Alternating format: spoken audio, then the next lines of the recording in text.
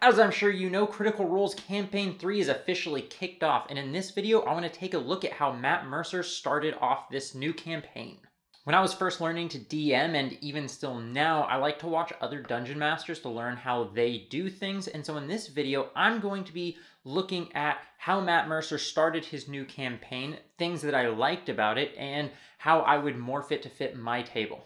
So let's get started. I really like the way Matt Mercer started this off. I have done similar starts into my campaigns before, and what he did was broke his party down into a couple different groups. He had everyone leave the table except for two players. They got to play for about half an hour. Then he brought in the next group. They got to play for about a half an hour. Then he brought in a third group. They got to play for half an hour. And then they all got into a fight.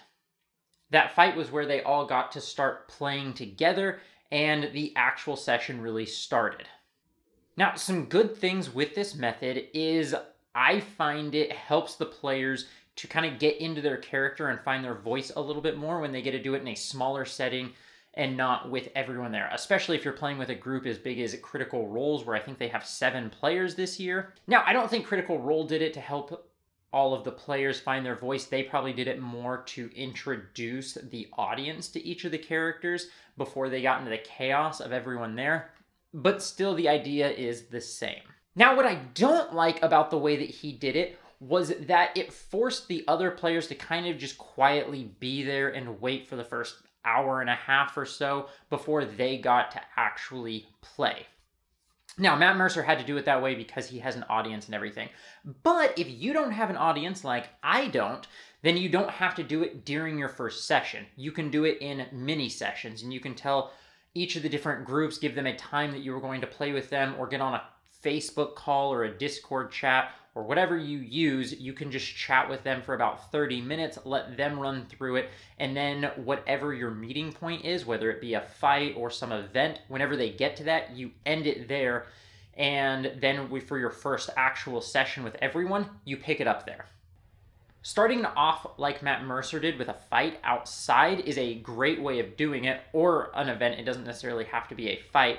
Uh, but with it being outside, you don't have to lure the players into a specific place. Whenever they're walking through the city from one point to another, they can happen to walk past whatever this event is when you're ready to end that mini session. Then, if it's a fight, what I like to do, have them roll initiative, end the session there. Then, when you pick up your first actual session, you explain the situation, the setting, all of the normal stuff that you would do. Then you look to whichever player is first in the initiative order and just ask them, what do you want to do? And you kick the fight off. I also really like starting the campaign with a fight. If you want to check out my full video on ways to start your campaign, you can click up here. I'll put it in the time card. But a fight is a great way of doing it because I don't like starting it off just with role playing because I feel like sometimes people can get off to a, a slow start. It's a little bit awkward doing it at the very beginning. But if you start it off with a fight, then when you get to the role playing, people are more in the mindset, uh, and, and I think it goes a lot better, which is exactly what Matt Mercer did.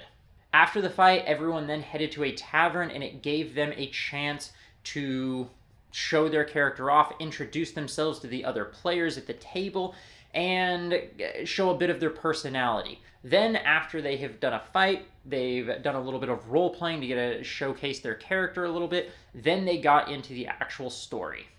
Then Matt Mercer ended session one on a high note, a little bit of a cliffhanger. I like ending it this way much more than on a low note where they finish doing some easy introduction quest and then they walk away. It's fine to do it that way, but I like leaving it on a high note because then everyone is excited after the first session. They're ready for session two, and it really sets the tone for the campaign.